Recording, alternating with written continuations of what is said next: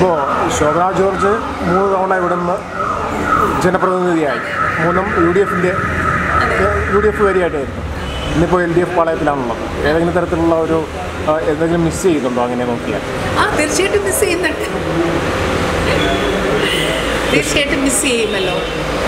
നമ്മൾ കാരണം ഓർമ്മ വെച്ച നാൾ മുതൽ പിന്തുടരുന്ന ഒരു ശൈലി ഉണ്ടായിരുന്നു.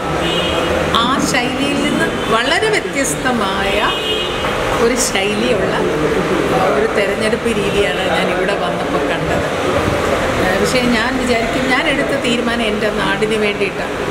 ഇപ്പോൾ ഒരു ബ്രേക്ക് ഇവിടുത്തെ പ്രവർത്തനങ്ങളിൽ വന്നാൽ പിന്നെ ഒരിക്കലും ചെങ്ങന്നൂർ വീണ്ടും ലൈം ലൈറ്റിലേക്ക് വരത്തില്ല. അതെനിക്ക് ബോധ്യമുള്ളത് കൊണ്ടാണ് സജി ചെറിയാനെ പിന്തുണയ്ക്കണം ചെങ്ങന്നൂരിലെ ഒരു നന്മയുണ്ടാകണം. നന്മയുണ്ടാവണം അതിന് ഏറ്റവും നല്ലത് ഇപ്പോഴത്തെ നിലയിൽ സജി ചെറിയാൻ തന്നെ ഒരു ജനപ്രതിനിധിയാവുന്നതാണ്. അങ്ങനെയാണ് ഞാൻ ഈ ഒരു തീരുമാനം സത്യം പറഞ്ഞാൽ എടുത്തത്.